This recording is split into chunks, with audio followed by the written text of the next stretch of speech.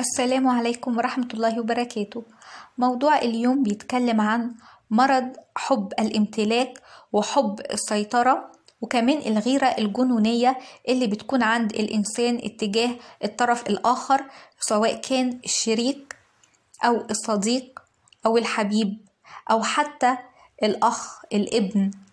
فده مرض قاتل بيدمر الإنسان وبيدمر كمان اللي حواليه.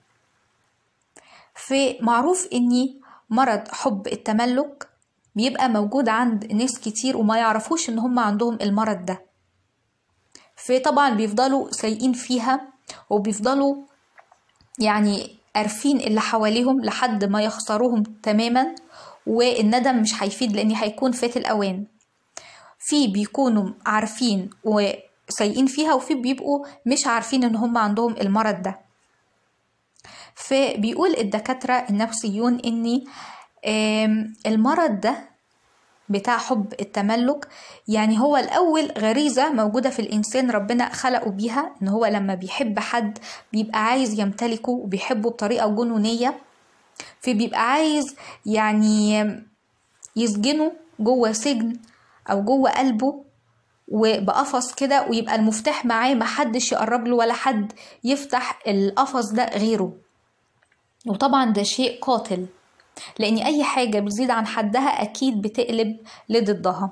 وربنا كمان بيغير على قلب العبد لما يلاقيه بيحب إنسان قوي بطريقة جنونية. بيغير على قلبه فبيعمل له استوب بيعمل له أزمات ومواقف وحاجات وكمان صدمات تخليه يعمل stop عن الحب ده. لأن ما ينفعش نحب حد قوي. إحنا بنتضر وهو كمان الطرف التاني بيتضر جامد. في أغلب اللي بيكونوا مرضى بمرض حب التملك بيكون عندهم أمراض عقلية زي إيه؟ زي انفصام الشخصية يعني شيزوفرينيا أو مرض ثنائي القطب أو الاضطرابات الوهمية أو حتى الوسواس القهري أو اضطراب الشخصية. وفي كمان متلازمة دماغية عضوية. في البني آدم اللي عنده حب التملك بيكون فعلا مش طبيعي وبيأذي الآخرين بشكل مباشر أو غير مباشر. طيب إيه هي العلامات اللي بتدل على حب التملك؟ زي عدم الاحترام يعني الإنسان ده هو مش بيحترم الطرف الآخر بيحب ينتقده يتكلم معاه بوقاحة بطريقة مش حلوة بسخرية بيقلل من إمكانياته وقدراته علشان يقوله بطريقة غير مباشرة أنت ما تقدرش تستغنى عني لازم أنا أكملك لازم تاخد رأيي في كل حاجة. يعني هو بيحب ينتقد الآخرين لكن محدش ينتقده. كمان الغيرة الجنونية المش طبيعية اللي بتصاحبها مشاكل وخناقات وممكن ضرب يعني بيبقى فيه إيذاء جسدي وإيذاء نفسي بيبقى عصبي جدا. بينزعج من أقل ومن أتفه الأشياء.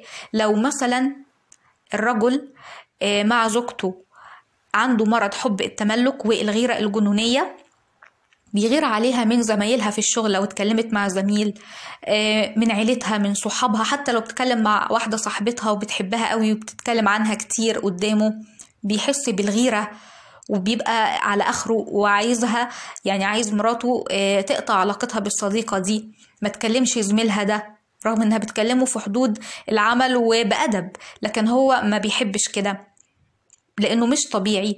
بيغير عليها كمان من عيلتها ممكن من أختها من أمها ويبقى عايزها تقطع علاقتها بكل الناس ويحاول يقنعها إن هو على حق لكن طبعا هو غلطان مية في المية.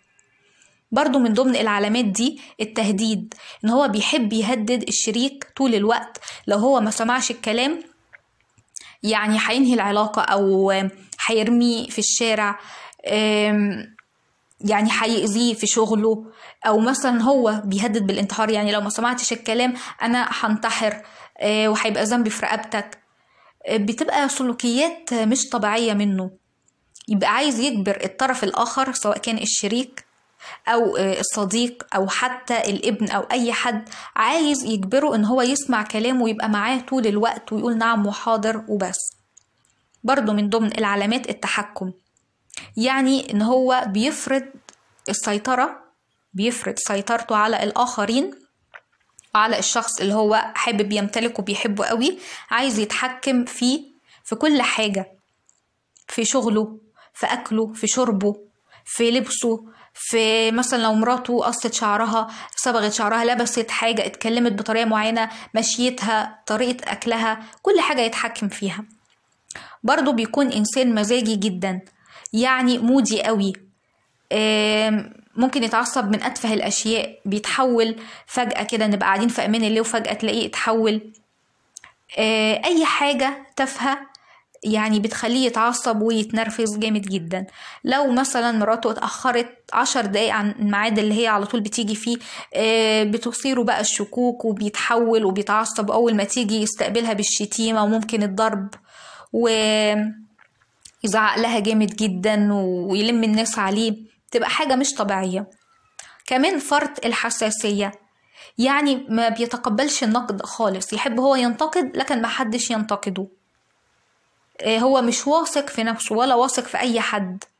ممكن إن الطرف الآخر يستفزه بمنتهى السهولة ويعكر مزاجه على اتفه حاجة. ويكون مش قصده لكن هو يعني خلقه ضيق. فدي حاجة مش طبيعية. كمان أي موقف يتعرض له بيبقى عايز يتهرب من الموقف ده ويخلي الآخرين هم يعني اللي يتصرفوا. يعني بيسيبها لهم مخدرة وهما اللي يتصرفوا. بيبقى مش قادر إن هو يحل المشكلة اللي اتحطوا فيها أو في موقف يعني عايز رجولة منه أو منها بيبقى فيه أنانية. اللي هو أنتوا اللي تتصرفوا أنا ماليش دعوة. في إيه هو علاج حب التملك؟ العلاج هو إن الشخص ده لازم أول حاجة يعرف إن هو مريض. وما يستهنش بالمرض ده ويروح لطبيب نفسي أو أخصائي نفسي وده مش عيب وأغلب الناس بتروح لأخصائيين نفسيين علشان يعالجوا مشاكلهم وعشان يتطوروا ويبقوا ناس كويسين وصالحين. فلازم ياخد معاه الشريك ده ويروحوا هما الاتنين إيدهم في إيد بعض للأخصائي النفسي ويتعالجوا ويسمعوا كلامه. ان مثلا البني آدم لما يحس إن هو هتبدأ الحالة تجيله أو هي هتبدأ الحالة تجيلها تدخل أوضتها تقفل عليها الباب وتستعيذ بالله من الشيطان الرجيم تستغفر ربنا تصلي ركعتين تقعد تقرأ في كتاب أو الكلام ده موجه للرجل لو حس إن هو هيبدأ يتجن على الشريكة إن هو يسيب البيت. وينزل يتمشى يغير جو يكلم حد من صحابه أو يفضفض لحد مقرب ليه. يعني لازم يعالجوا نفسهم بنفسهم لأن الموضوع مش صعب ابدا. ولازم يعرفوا إن ربنا خلقنا علشان نبقى أحرار مش ملك بعض. لازم يعرف إن كل إنسان ليه كيانه وشخصيته المستقلة ليه مساحة من الحرية. أي حاجة بتزيد عن حدها بتقلب لضدها. آه من الجميل إن إحنا نحب الآخرين لكن الحب يكون معقول. فلما الواحد بيخنق حرية الآخر في كده يعني بيجيب أجله. كده هو بيبقى خسره تماما. لازم نبقى مؤمنين بربنا إيماننا قوي. نستعيذ بالله من الشيطان الرجيم. نبقى مؤمنين إن اللي هيختاره لينا ربنا هو ده الخير. يعني نستودع ربنا في من نحب. وكمان نترك لهم حرية الاختيار في كل حاجة. في يعني حتى علماء النفس كلهم اتفقوا إني لما نلاقي الشريك أو الزوج أو الزوجة أو الصديق عنده مرض حب التملك لازم لو إحنا معرفناش نعالجه ونديله فرصة مرة واتنين وتلاتة لازم بقى إيه نبعد عنه تماما لأن ده شخص أناني مريض نفسيا وعقليا وما بيعرفش يحب صح. يعني هو بيدور على سعادته هو بيدور على راحته هو وبس. وإيه اللي هو عايزه؟ مش مهم الطرف التاني عايز إيه. لازم كمان إن البني آدم المريض بمرض حب التملك والسيطرة لازم يتجنب الشك لازم يبقى عنده ثقة في نفسه في الطرف الآخر يعود نفسه على كده لأن الشك ده مرض قاتل بيقتل صاحبه أول واحد. يبقى عنده رضا وقناعة يبقى واثق من الطرف الآخر يسيبه براحته يختار لنفسه اللي هو عايزه مجرد بس يعني يضيف رأيه مش أكتر ويقول كمان رأيه بأدب. الهواجس والوساوس اللي بتيجي من الشيطان لازم يطردها تماما من دماغه. لازم يستمتع بحياته مع الطرف الآخر ومع الشريك.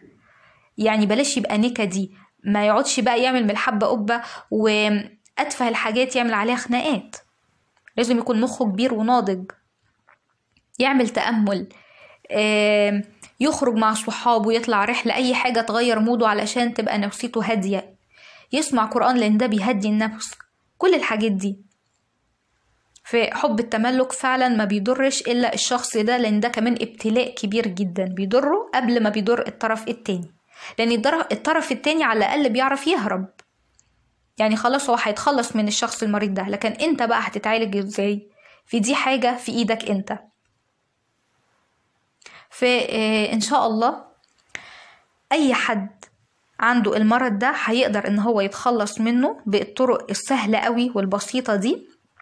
لأن فعلا أغلبنا عندنا المرض ده ومش عايزين نعترف بكده. فإن الواحد يقعد مع نفسه ويحاسب نفسه بطريقة ما فيهاش جلد للذات وبطريقة معقولة هو كده دي بداية العلاج.